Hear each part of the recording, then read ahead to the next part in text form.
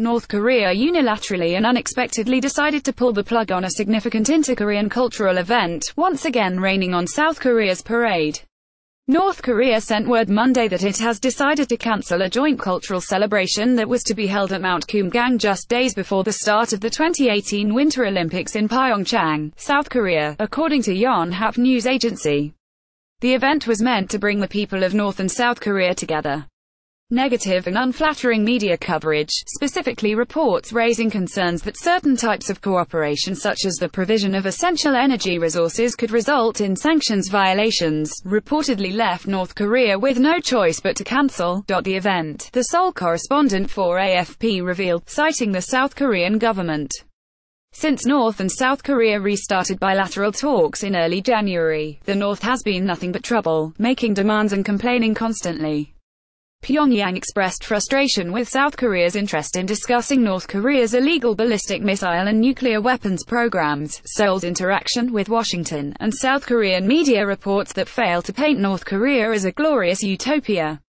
North Korea has also been uncooperative, often failing to respond in a timely manner to requests to changing plans last minute with zero explanation.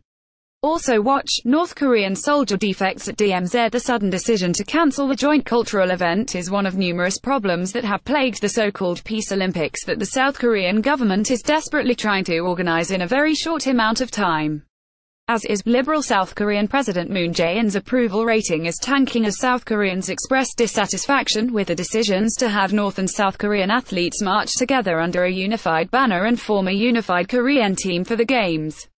Many observers suspect that North Korea's interest in the Olympics is a sham to exact concessions from Seoul, as well as permanently cripple the U.S.-South Korean alliance.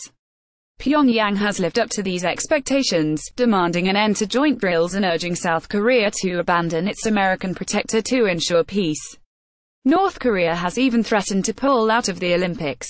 Furthermore, there is significant evidence indicating that North Korea plans to upstage the Pyeongchang Winter Olympics with a massive military parade the day before the Games begin.